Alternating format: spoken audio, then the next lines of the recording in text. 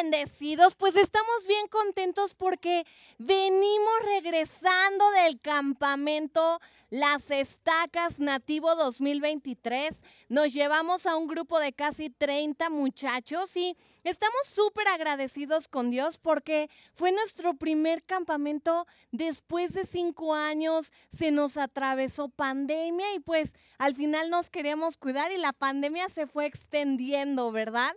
Eh, el día de hoy en la mañana mi cuerpo me recordó que en el último campamento tenía 25 y ahora voy de 30 años.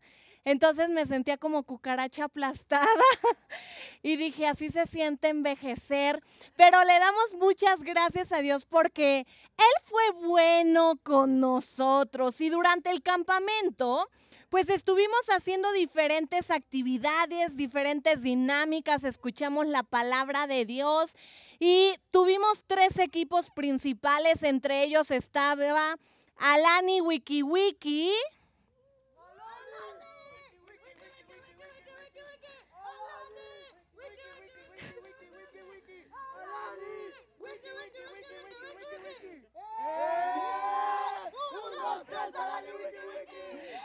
Vamos a darles un aplauso.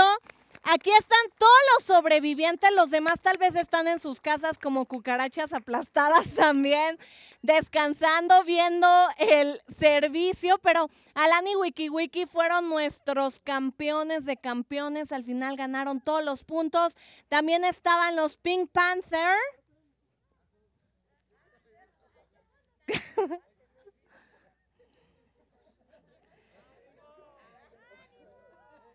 Exactamente, ánimo. ¿Y su porra?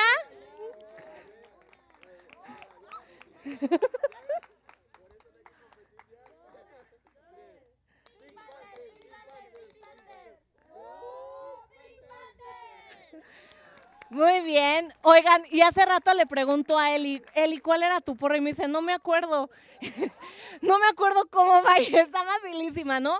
Y por último, no es que yo tenga preferidos, pero los mejores. no es cierto. El último equipo, Kowai.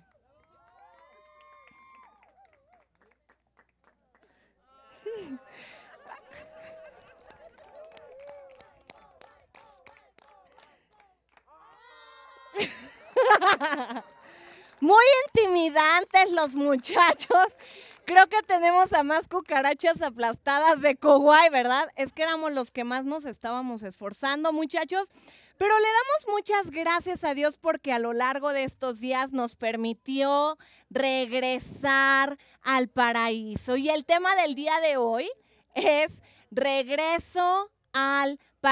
¿Qué te parece si me acompañas, por favor, a Génesis 2 del 8 al 10? Vamos a leer Génesis 2 del 8 al 10. Vamos a leer Reina Valera 60. Génesis 2 del 8 al 10. Dice, y el Señor Dios plantó un huerto en Edén al oriente y puso ahí al hombre que había formado y el Señor Dios hizo nacer de la tierra todo árbol delicioso a la vista y bueno para comer, también el árbol de vida en medio del huerto y el árbol de la ciencia del bien y del mal. Y salía de Edén un río para regar el huerto y de ahí se repartía en cuatro brazos. ¿Me acompañas a hacer una oración? Señor, te damos muchas gracias porque tú el día de hoy hablas a nuestro corazón. Espíritu Santo, que sea tu palabra. Tu palabra, Señor, penetrando hasta lo más profundo de nuestro corazón. Queremos escuchar tu voz, que no sea yo, sino que seas tú hablando a tu iglesia. En el nombre de Jesús. Amén. Amén. En el inicio de la creación, hace miles y miles de años, Dios puso al hombre en un paraíso. Lo acabamos de leer. El amor de Dios para la humanidad era tan grande que literalmente labró un huertito, un jardín, un paraíso para que nosotros pudiéramos estar ahí y comer. ¿Qué piensas cuando te digo paraíso? ¿En qué piensas? en árboles muy hermosos, frutales, como que estás en la selva, ¿verdad? Y estás viendo pura naturaleza. El Señor nos permite vivir en una iglesia muy natural, ¿verdad? Tal vez somos la iglesia más ecológica de todo México, pero piensa en todos los árboles y el cielo con múltiples colores. Dios puso al hombre en un paraíso, un paraíso terrenal. Y fíjate, acompáñame a seguir leyendo, por favor.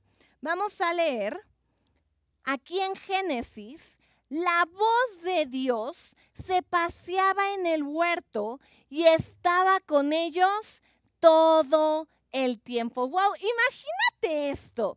El creador del cielo y de la tierra no solamente nos había preparado un paraíso, sino que se paseaba su voz en el huerto y el hombre tenía acceso a una línea de comunicación directa con su creador. Solamente tenías que decir, oye Señor. Y el Señor estaba ahí inmediatamente respondiendo. No estaban solos, no estaban solos. Y perdónenme muchachos que se me bloquea esto un poquito, lo estamos cubriendo del sol, pero en una decisión el hombre echó a perder el paraíso que Dios le había preparado. Mira, acompáñame por favor a Génesis 3 del 1 al 9. Génesis 3 del 1 al 9. Vamos a leer. En una decisión, el hombre echó a perder el paraíso que Dios había preparado para él. Génesis 3, del 1 al 9, dice, pero la serpiente era astuta más que todos los animales del campo que el Señor Dios había hecho, la cual dijo a la mujer, con que Dios os ha dicho no comáis de todo árbol del huerto. Y la mujer respondió a la serpiente, del fruto de los árboles del huerto podemos comer, pero del fruto del árbol que está en medio del huerto, dijo Dios, no comeréis de él ni le tocaréis, para que no muráis. Entonces la serpiente dijo a la mujer, no moriréis, sino que sabe Dios que el día en que comáis de él serán abiertos vuestros ojos y seréis como Dios sabiendo el bien y el mal. Y vio la mujer que el árbol era qué? Bueno para comer y que era agradable a los ojos y árbol codiciable para alcanzar la sabiduría y tomó de su fruto y comió y dio también a su marido, el cual comió así como ella. Entonces fueron abiertos los ojos de ambos y conocieron que estaban desnudos. Entonces cosieron hojas de higuera y se hicieron delantales. Y oyeron la voz del Señor Dios que se paseaba en el huerto al aire del día. Y el hombre y su mujer, ¿qué pasó? se escondieron de la presencia del Señor Dios entre los árboles del huerto. Mas el Señor Dios llamó al hombre y le dijo, ¿dónde estás tú? El hombre y la mujer decidieron desobedecer a Dios. Y su desobediencia tuvo frutos mortales. Imagínate que Dios ya les había dado la entrada al paraíso. Ellos tenían absolutamente todas sus necesidades cubiertas. Solamente tenían que alzar su mano para tomar los frutos más exóticos que te puedes imaginar. ¿Cuál es tu fruta favorita? Si es el mango, imagínate unos mangotes o cocos o kiwis, maracuyá. Todo lo que ellos quisieran tener. Y Dios solamente dio una sola indicación. Puedes tomar cualquier fruto de los árboles, pero el árbol de la ciencia del bien y del mal, ¿qué pasó? No lo toques porque de cierto morirás. El hombre y la mujer tomaron una mala decisión, desobedecieron a Dios. Y vamos a seguir leyendo Génesis 3 del 16 al 19. Génesis 3, del 16 al 19. Dice, a la mujer dijo, multiplicaré en gran manera los dolores de tus preñeces, con dolor darás a luz los hijos, y tu deseo será para tu marido, y él se enseñoreará de ti. Y al hombre dijo, por cuanto obedeciste la voz de tu mujer y comiste del árbol que te mandé diciendo, no comerás de él. ¿Qué pasó? Maldita será la tierra por tu causa, con dolor comerás de ella todos los días de tu vida.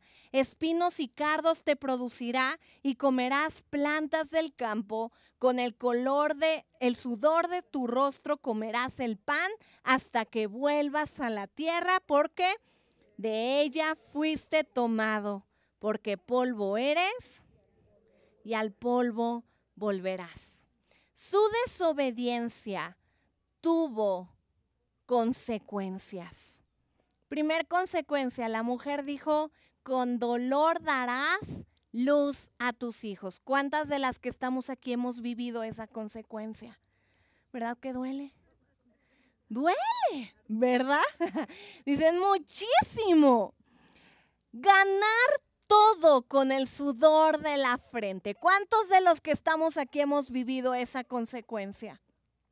Antes Dios tenía contemplado que todas nuestras necesidades eran automáticamente suplidas por Él mismo.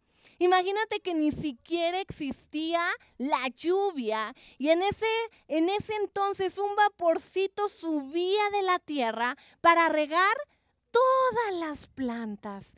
El hombre no se tenía que esforzar. Y ahora, ¿verdad que nos tenemos que esforzar para echarle ganas y sacar a la familia adelante? Cuesta trabajo. Siguiente consecuencia, la tierra fue maldita por nuestra culpa.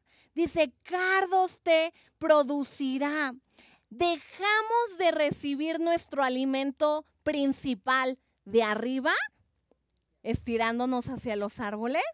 Y el Señor dijo, ahora vas a empezar a recibir tu alimento de dónde? De la tierra, de abajo. Ahora vamos a empezar a recibir nuestro alimento de la tierra y de lo que tú te tienes que esforzar para labrarlo. Dios decidió al final darle muerte a nuestro cuerpo mortal. En el inicio, el plan de Dios es que este cuerpo que tú y yo tenemos tan precioso iba a ser eterno. Era su diseño original, que tú y yo nos quedábamos en el Edén y en su paraíso para siempre. Yo no sé cómo funcionaba eso, si tal vez íbamos a nacer, crecer y a los 25 parábamos de envejecer. ¿No? Así cuando estamos más fuertes y nunca nos salían arrugas y no existía la celulitis y, y todo lo que viene a través de envejecer. Era su plan para nosotros. Pero hubo una última consecuencia de esa desobediencia. Vamos a leer Génesis 3, 23. Génesis 3, 23. Fíjate, dice, y lo sacó el Señor del huerto del Edén para que labrase la tierra de que fue tomado. ¿Qué crees? ¿Cuál crees que fue la última consecuencia? Dios nos sacó del paraíso. Nuestra desobediencia nos sacó del paraíso una sola decisión y nos sacó del paraíso y de poder estar en comunicación y conexión directamente con nuestro Creador por miles y miles de años. Porque en ese momento el canal de comunicación directo que teníamos con Dios y el hombre se perdió, se cortó. Y Dios solamente empezó a hablar a través de los patriarcas, a través de algunos profetas, con el pueblo de Israel. Todo el pueblo se reunía una vez al año y solamente un sacerdote podía entrar al lugar santísimo para escuchar la voz de Dios. Pero todos los demás, pues estábamos fuera de su presencia. No solamente perdimos el paraíso que Dios había preparado para nosotros, el hombre y la mujer perdieron a su mejor amigo. Perdimos a nuestro mejor amigo. Yo te quiero preguntar una cosa. ¿Alguna vez has tomado una decisión que te ha alejado del paraíso que Dios tiene preparado para ti? ¿Alguna vez has tomado una decisión? Yo he tomado muchas malas decisiones que sin darme cuenta me van alejando del paraíso que Dios tiene preparado para mí. Decisiones como contiendas con tu familia, conocidos, en el trabajo, es más, en el tráfico, ¿no? Que le recuerdas a su mamá porque se te metió contiendas, peleas, falta de amor. Conozco familias que llevan años en que los papás y los hijos, ¿qué pasa? Se dejan de hablar. Salen los hijos de la casa y no quieren saber nada de su papá o de su mamá. Familias donde hijos, entre hijos, los hermanos no se hablan, hablan mal entre ellos y como si no fueran familia, ¿verdad? Malas decisiones como malos pensamientos y sentimientos, envidias, murmuraciones, celos, soberbia, orgullo en nuestro corazón. Malas decisiones como desórdenes sexuales, no vivir en el orden que Dios ha establecido para tu sexualidad. Y el orden de Dios es que los creó varón y mujer. Y el hombre de Dios es que creó el sexo para el matrimonio, no antes. Y una vez casados, solamente con tu esposo y con tu esposa, ¿verdad? Malas decisiones como a veces pensamos como, no, ese pecadote sí estuvo cañón. Pero a veces las decisiones son alejarnos más y más de la presencia de Dios al tener falta de tiempo para Él no le dedico suficiente tiempo. Digo mañana, mañana. Estoy muy cansada para orar la Biblia, para, para leer la Biblia. Imagínate el cansancio. Estoy muy cansada para leer la Biblia. Estoy muy cansada para orar. Vengo a la iglesia y digo, ay, otra vez en el sol. Me voy a empanizar. Ayer lavé mi carro. Falta de tiempo y comunión con Dios, que al final vayan, van siendo decisiones poquito, poquito, poquito, gotitas, gotitas. ¿Qué hago? ¿Oro o veo Netflix? Veo Netflix.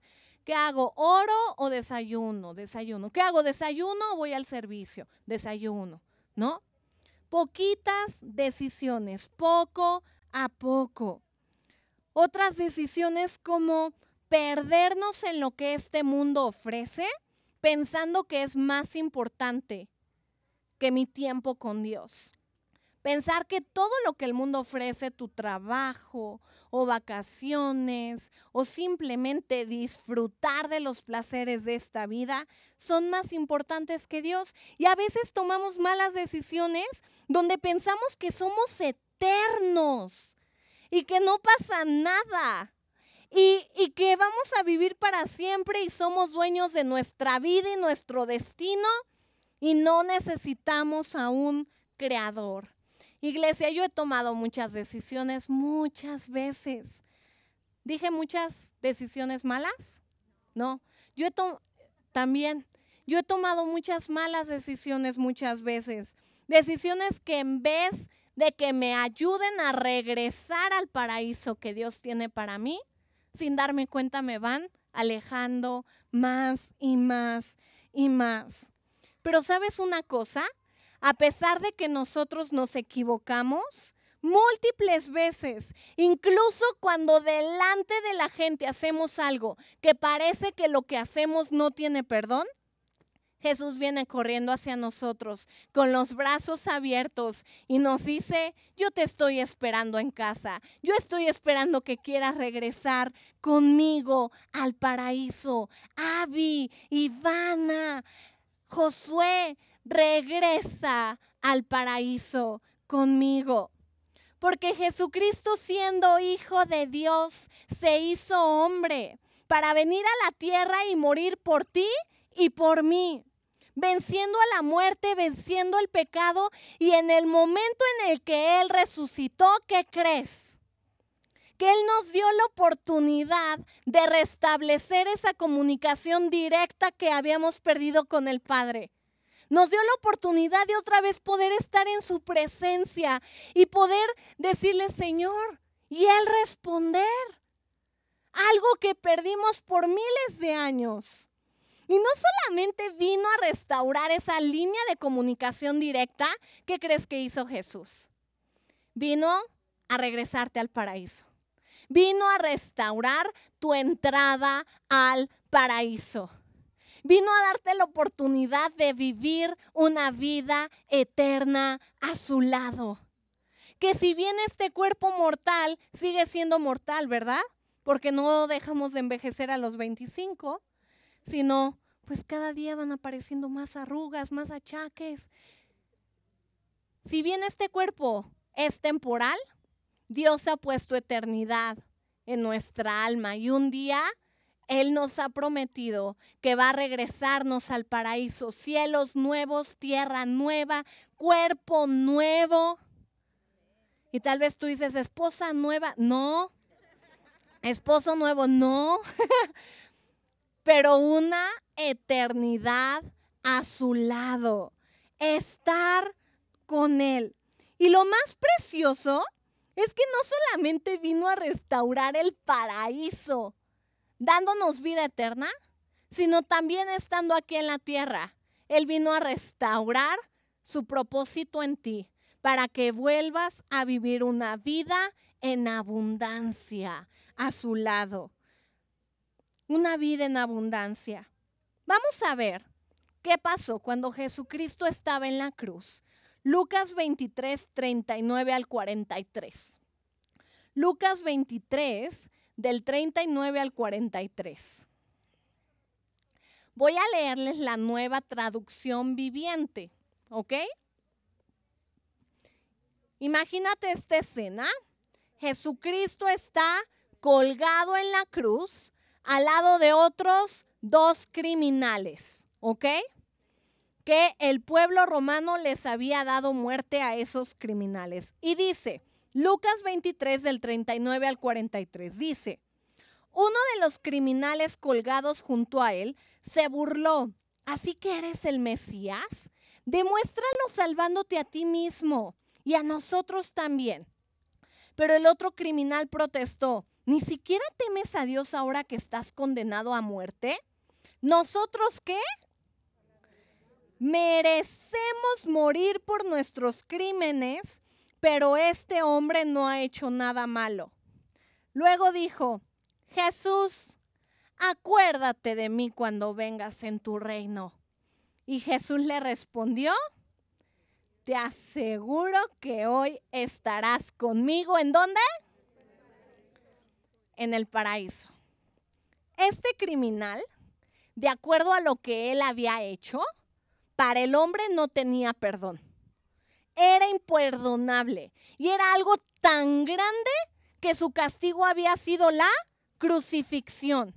Y él aquí estaba reconociendo tu su culpa, ¿te das cuenta? Él estaba reconociendo, yo hice todo de lo que me culparon y estoy aquí como mi castigo. La crucifixión en la época romana era el peor castigo que se podía dar a los peores criminales, para darles una muerte lenta, una muerte humillante, porque los dejaban sin ropa, sin nada, los dejaban en un lugar público y esperaban a que fueran muriéndose lentamente. este castigo era solamente para los peores criminales. Cuando yo te digo peores criminales, ¿qué te imaginas?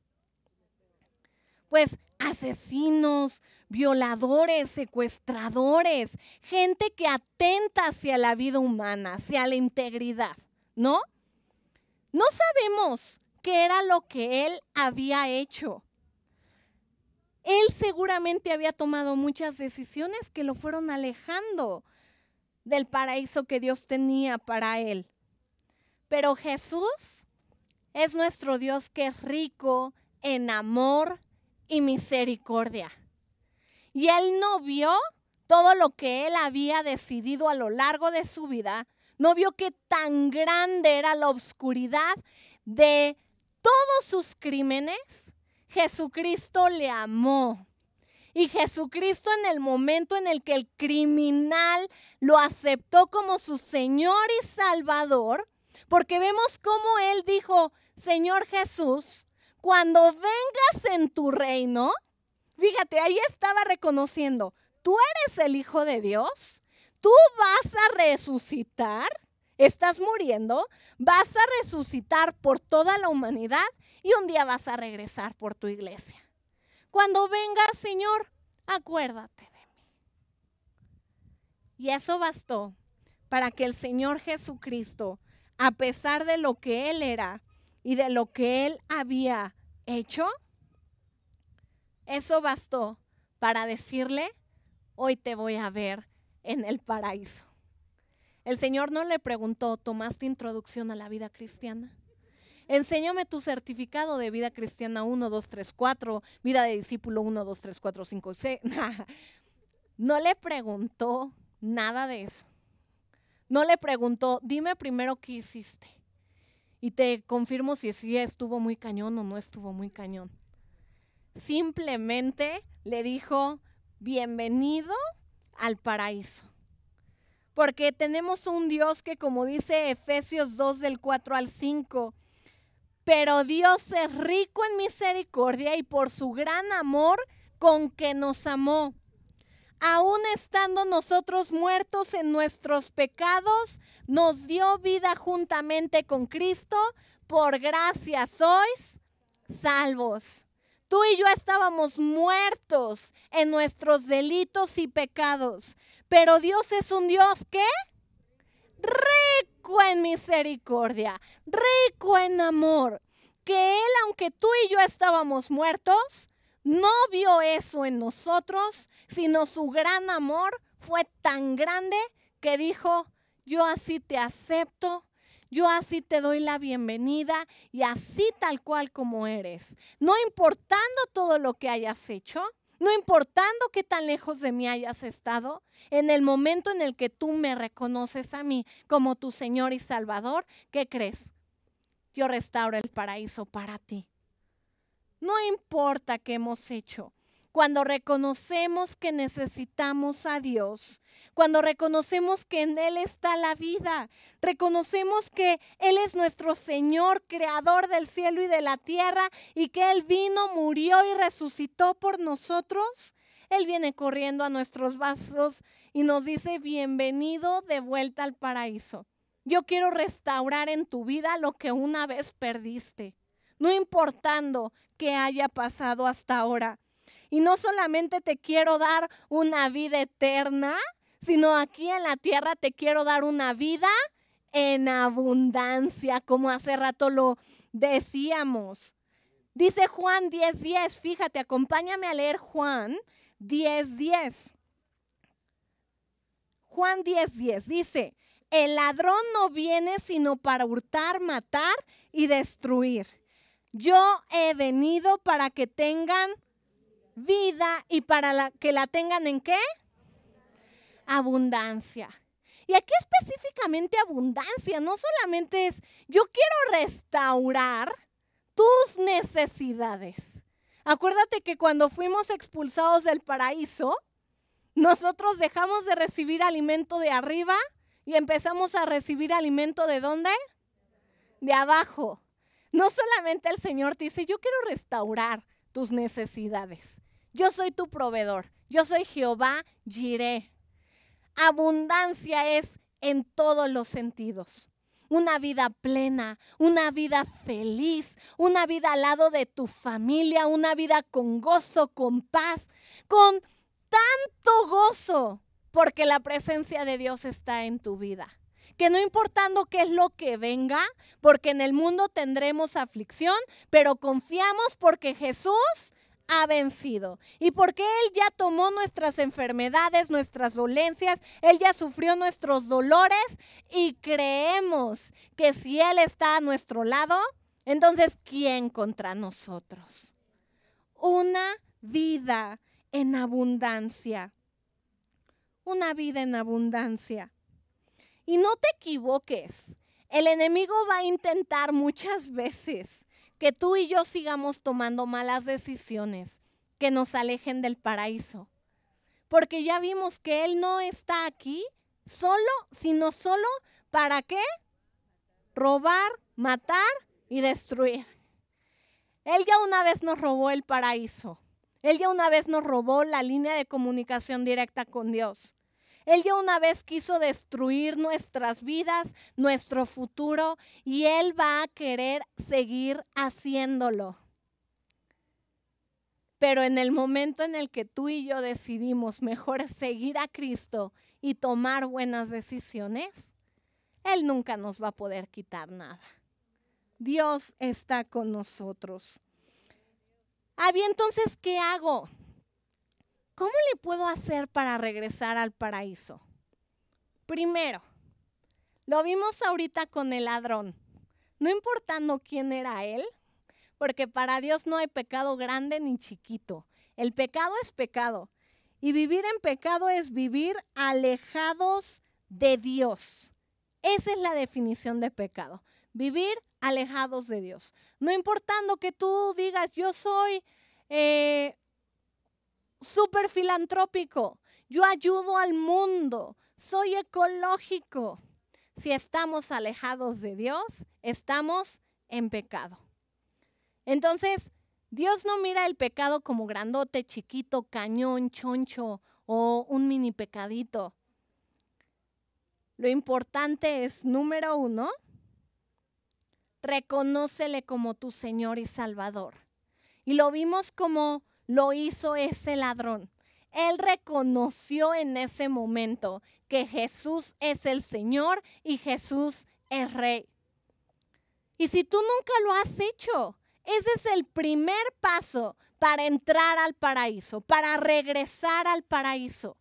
Reconocer que Jesús vino aquí a la tierra, se hizo hombre, murió y resucitó para que tú y yo podamos ahora tener vida. Y dice el Señor en Romanos 10 del 9 al 13, Romanos 10 del 9 al 13 dice que si confesares con tu boca que Jesús es el Señor y creyeres en tu corazón que Dios le levantó de los muertos, ¿qué? Serás salvo. Regresarás al paraíso, porque con el corazón se cree para justicia, pero con la boca se confiesa para salvación. Oye, Abby, yo ya hice esa decisión hace muchos años, pero sigo tomando malas decisiones. ¿Cómo le puedo hacer para no alejarme más y más de él? Bueno, punto número dos, decide regresar a él. Es muy fácil. Decide regresar al paraíso. Él está esperándote con sus brazos abiertos esperando que tú y yo tengamos un corazón que quiera acercarnos a Él.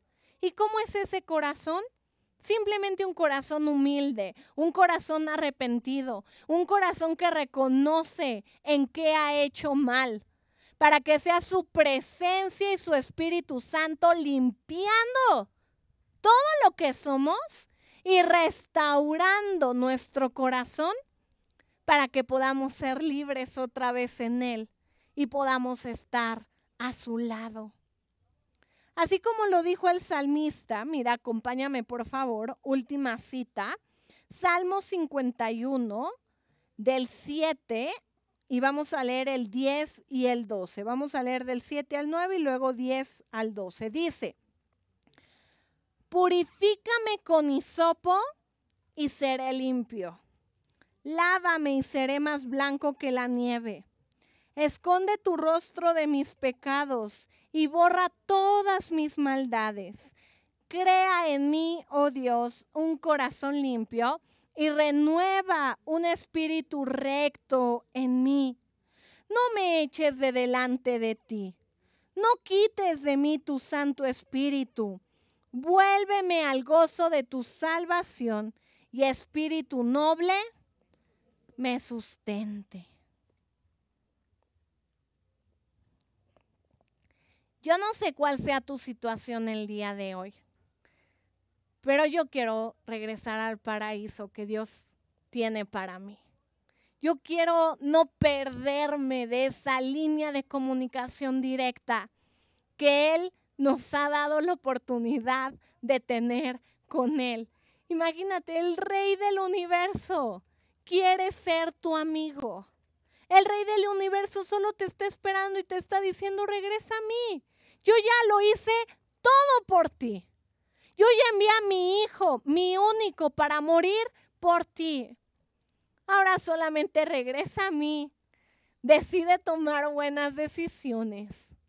Y aunque te caigas, aunque te caigas, yo estoy ahí a tu lado y te puedo dar la mano y podemos regresar y continuar una y otra vez porque la realidad es que nunca vamos a dejar de equivocarnos, ¿verdad? O sea, nunca vamos a dejar de equivocarnos, pero sí en nuestro corazón podemos decidir guardarnos del mal y regresar a Él cada vez que la regamos una y otra vez. ¿Qué te parece si me acompañas a cerrar tus ojos? Y yo no sé cuál sea la situación en la que tú has estado. No sé cuál sea la situación de tu corazón, pero si tú el día de hoy reconoces que necesitas hacer cambios en tu vida para regresar a Él más y más, yo quiero que te pongas de pie. Nadie te está viendo y yo estoy puesta ya de pie. Si tú dices, Señor, yo reconozco que me he alejado de ti a veces, he tomado a veces malas decisiones que ni siquiera me doy cuenta de ellas. Pero el día de hoy yo quiero regresar a tus brazos y quiero decirte que te necesito, Jesús. Te necesito en mi vida. Yo quiero que la línea de comunicación que tú previste desde el inicio para mí siga siendo fuerte y directa contigo. Yo quiero empezar a vivir en tus planes, en tus sueños, en lo que tú has preparado para mí.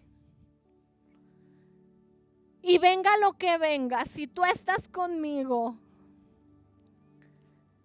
ya voy a estar en el paraíso, Señor.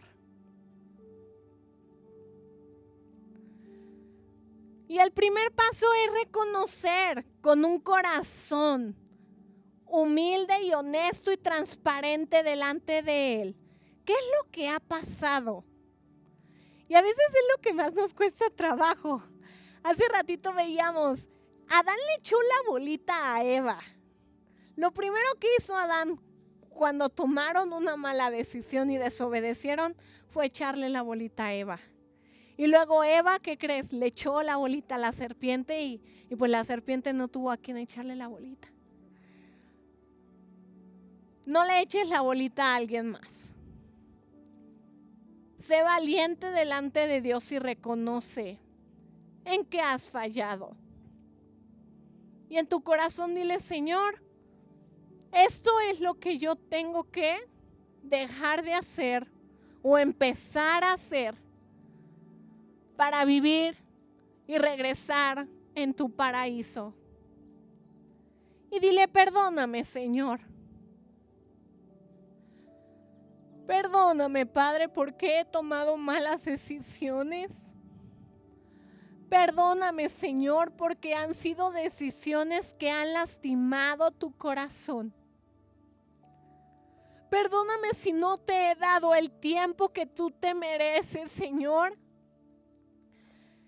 Y no me he dado cuenta de todo lo que has hecho por mí y de tu sacrificio tan grande en la cruz para restablecer esa línea de comunicación directa conmigo y a veces lo tomo por hecho. Perdóname Señor si ha habido contiendas, pleitos, malos pensamientos, sentimientos, desórdenes en mi vida. Perdóname por cualquier cosa que me ha alejado de ti.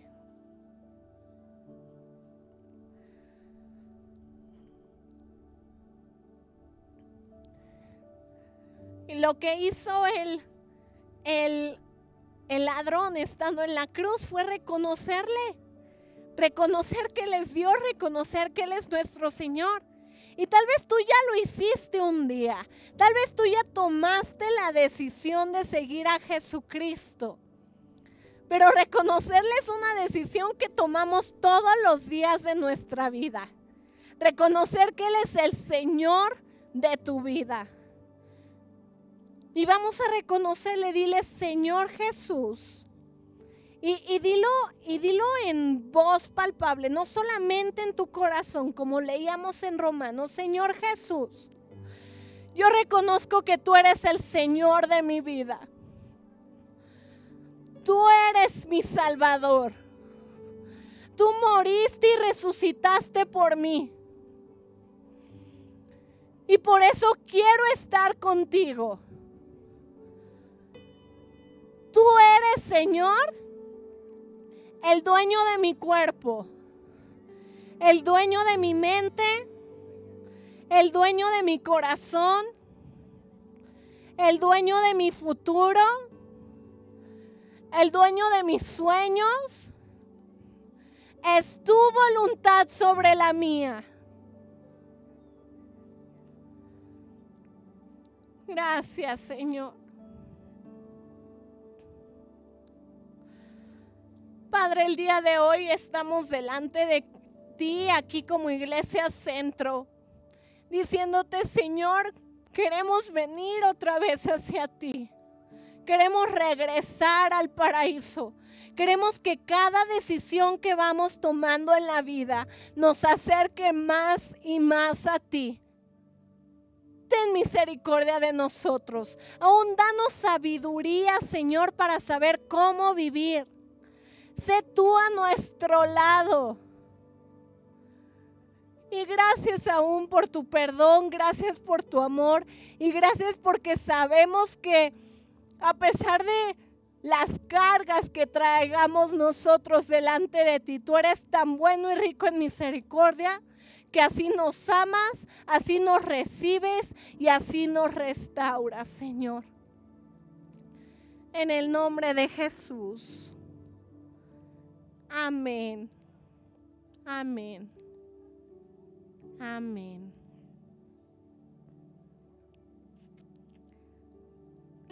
Dios es bueno, ¿verdad, Iglesia Centro?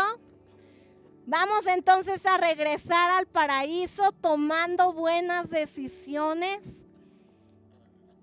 El día de hoy queríamos traer un cachito de Nativo 2023 les amamos, que tengan una semana muy bonita. Dios está con ustedes y nos vemos muy pronto. Muchas gracias.